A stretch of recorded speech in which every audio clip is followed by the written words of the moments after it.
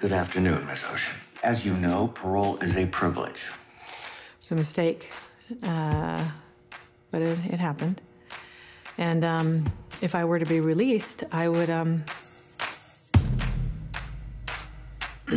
I would just want the simple life. I just want to hold down a job, make some friends,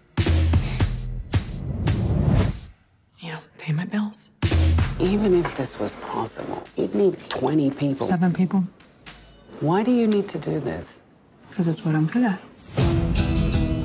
How long would it take you to make seven pieces of jewelry? Five or six hours. How long if I told you you didn't have to live with your mother anymore? इसलिए तुम्हारे पास कोई पति नहीं है. Less. What's your name? Nine Ball. What's your real name? Eight Ball. I'm gonna be really poor. What if we could make all this go away? Can I get my watch back, please? And hers as well? Sorry. It's okay. I am with my family. I told you not. Come in your garage. Do you want me to tell you how big the job No, is? I'm out. I'm gonna tell you how big the job is. I'll be back before you know it. Can I come with you? This is Mommy's very special work trip.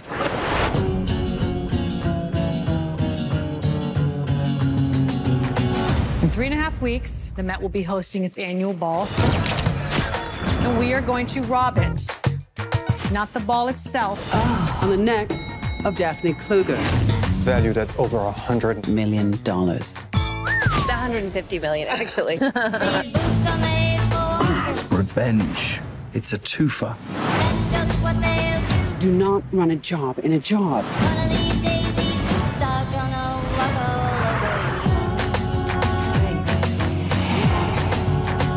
Taylor Swift? Can't we just go to this? Do we have to steal stuff? Yes.